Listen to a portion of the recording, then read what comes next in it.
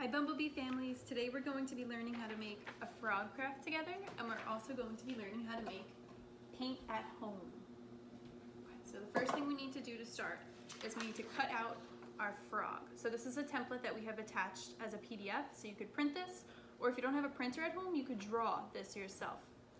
So the first thing we're going to do is we're going to cut. But before you cut you might notice that this shape is a little bit tricky to cut so a way to help you is to draw a circle around it and you could cut out that circle. So you could take a pen or a pencil, draw a circle around it, and then cut around the circle line.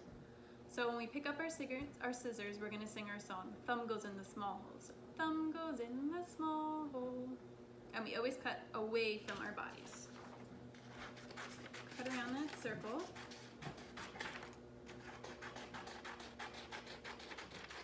And while you're cutting, you could think about how you want to decorate your frog. So we know frogs are green, so it's going to be have to be something green.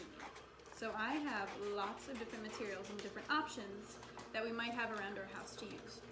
So we could use markers, we could use colored pencils, we could use crayons, any one of these work. If you have green chalk, you could use green chalk.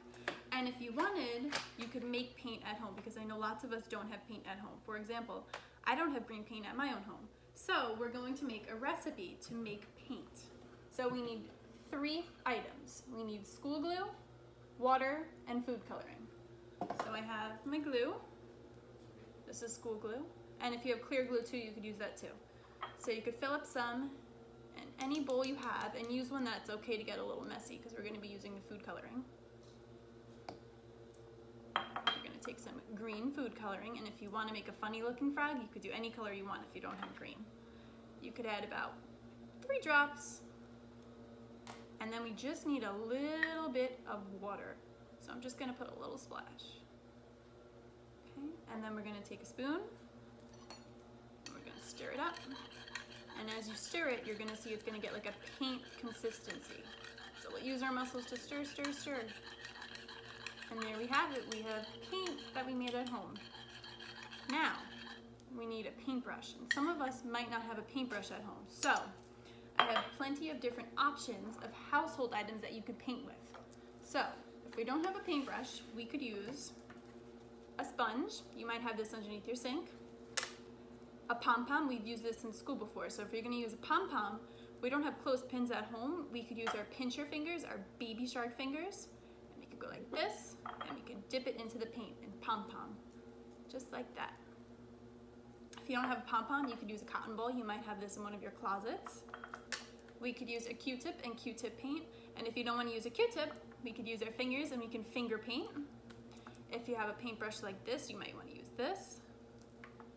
And then, lastly, if we don't have the materials we need to make paint, we can use paper to create our frog.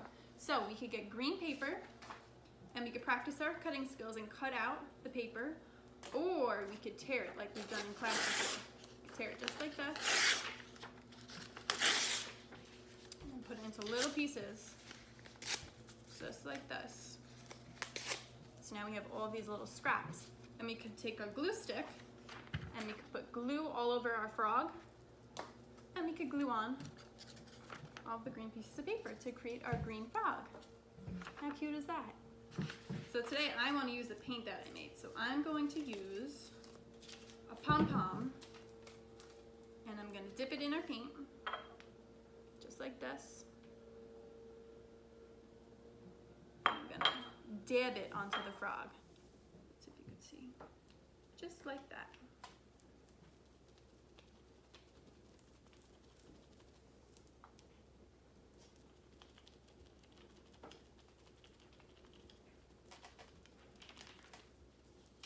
now we have a beautiful green frog with paint that we made at home. So bumblebees, I hope that you were able to try this out with your family and you found this video very useful because we have so many items around our own house that we could utilize to make arts and crafts. So if you do make your paint today or you make your frog craft, I would love to see a video or a picture. And I cannot wait to see how they come out. When you're done, maybe you could hang this up on your window and display it for everyone to see. Okay, bumblebees, I hope you enjoyed this video and found it useful. I cannot wait to see if you create your own. Bye.